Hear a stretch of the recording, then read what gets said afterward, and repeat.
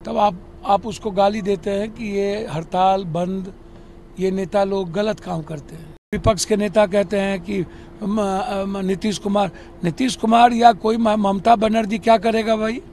आप हमको जरा बता दीजिए। एडमिनिस्ट्रेशन दोषी हो जाए, शासन प्रशासन दोषी हो जाए, उसमें सीधा मुख्यमंत्री को सब जगह आप गाली देते रहे तो आप घर में क्यों सोए हुए हैं? केंद्र को बेटी पर ही राजनीति करनी है तो केंद्र उत्तराखंड का जवाब देना, बिहार का जवाब देना अब बंगाल के उत्तर प्रदेश के ब्रजभूषण का जवाब देना। जब आप सियासत के लिए बलात्कारी को निकाल करके जेल से निकालिएगा तो आप किस मानसिकता से आप उम्मीद करते हैं कि बलात्कार की घटना रुके?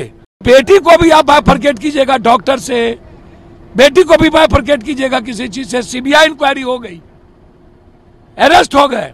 ममता बनर्जी खुद सड़कों पर हैं। कौन सी सुरक्षा की बात करते हैं, केंद्र? आप आम आदमी को सुरक्षा दे नहीं पाते हैं। और आम आदमी की गरीब की बेटी के साथ बलात्कार होता है, तब ये देश में हड़ताल आज तक क्यों नहीं करते हैं ये? डॉक्टर तोड़फोड़ करे तो कोई एक्ट नहीं, कोई कानून नहीं। डॉक्टर के कारण पब्लिक मर रही हो, कोई कारण नहीं। सीबीआई इंक्वायरी हो गई, अब इसको क्या चाहिए? मानवीय कृत करते हैं ये डॉक्टर लोग। ये इनको गॉड का दर्जा गलत तरीके से दुनिया ने दिए ये इंसान है। आप कानून भी आप ही हैं। जब और लोग हड़ताल करते हैं, तब आप आप उसको गाली देते हैं कि ये हड़ताल, बंद, ये नेता लोग गलत काम करते हैं। और बेटी को आप डॉक्टर से, आज़ाद से, जैसे मायावती जी और चंद्रशेखर जी ने ट्वीट कर दिया। उसके अलावा कोई नेता अभी तक क्यों नहीं गए? बिहार में चार बलात्कार हुए उत्तराखंड में बलात्कार हुए नर्सेस के साथ और बिहार में सबसे बड़ा विभत्स घटना तो नहीं घटी। एक भी नेता नहीं गए एक भी दलित लीडर नहीं गए जो बिहार फ़र्स्ट बिहारी फ़र्स्ट कहते हैं जो माझी जी दलित लीडर कहते हैं अपने को बड़ा आ, आ, हमारे परिवार की तरह है। जो विपक्ष के नेता कहते हैं कि नीतीश कुमार नीतीश कुमार या कोई ममता बनर्जी क्या करेगा भाई? आप हमको जरा बता दीजिए। एडमिनिस्ट्रेशन दोषी हो जाए, शासन प्रशासन दोषी हो जाए, उसमें सीधा मुख्यमंत्री को सब जगह आप गाली देते रहे तो आप घर में क्यों सोए हुए हैं? मैं जानना चाहता हूँ। सत्ता पक्ष तो इसीलिए नहीं गया कि उत्तराखंड में राजनीति बंगाल में राजनीति करनी है। और केंद्र को बेटी पर ही राजनीति करनी है। तो केंद्र उत्तराखंड का जवाब देना, बिहार का जवाब देना। अब बंगाल के उत्तर प्रदेश के ब्रजभूषण का जवाब देना, राम रहीम का जवाब देना, आसाराम का जवाब देना, बाबाओं का जवाब देना, ये राम रहीम ब्रजभूषण का जवाब क्यों नहीं देते हैं ये लोग?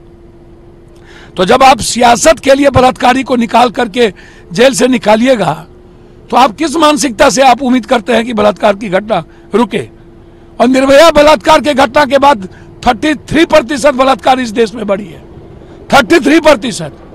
और बेटी को भी आप बायफरकेट कीजिएगा डॉक्टर से।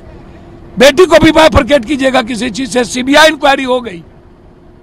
अरेस्ट हो गए। ममता बनर्जी खुद सड़कों पर हैं। बेटी के सवाल पर। फिर राजनीति कैसा? कौन सी सुरक्षा की बात करते हैं केंद्र? आप आम आदमी को सुरक्षा दे नहीं पाते हैं। और आम आदमी की गरीब की बेटी के साथ बलात्कार होता है, तब ये देश में हड़ताल आज तक क्यों नहीं करते हैं ये? क्यों नहीं बोलते हैं ये? और बारह की मौत हो गई। ये बारह मौत के जिम्मेदार कौन होंगे? डॉक्टर पे तीन सौ दो का मुकदमा नहीं लगना चाहिए। ये लगातार तोड़फोड़ कर रहे हैं। मतलब डॉक्टर तोड़फोड़ करे तो कोई एक्ट नहीं, कोई कानून नहीं। डॉक्टर के कारण पब्लिक मर रही हो, कोई कारण नहीं। सीबीआई इंक्वायरी हो गई, अब इसको क्या चाहिए?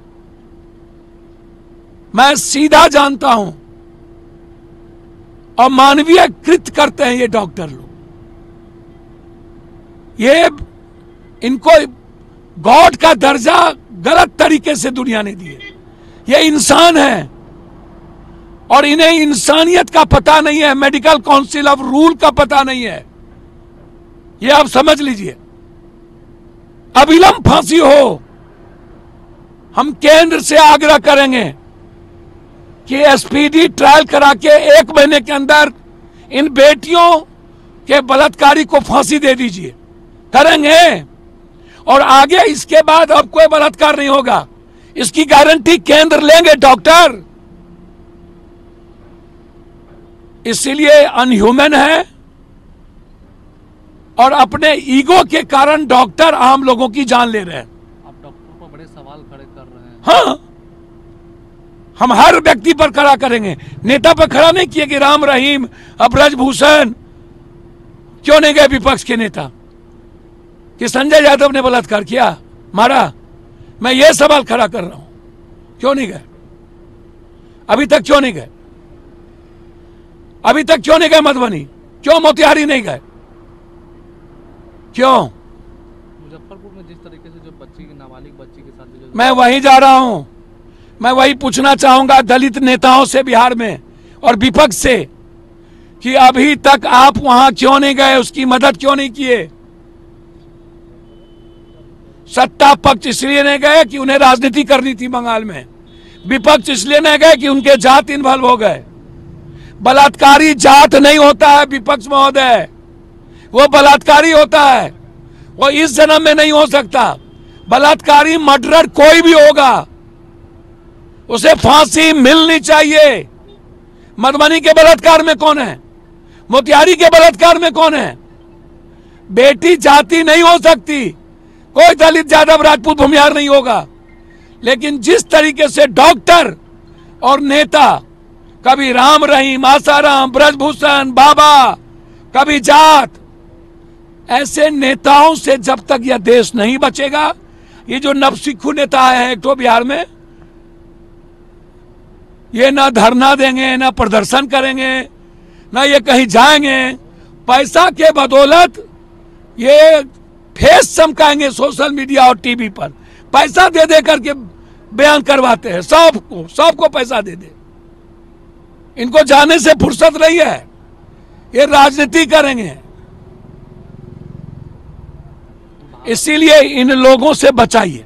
भागलपुर की कैसे लगता है जिस तरीके से भागलपुर में अगवानी पुल फिर से तीसरी बार पिलर सर, ये जो सिंगला कंपनी है ना, इसको ज़िंदा दिन में हैंग कर देने की इसके मालिक को ज़रूरत है। इसका मालिक लुटेरा है, बिहार से अरबों करोड़ों लुटाया है।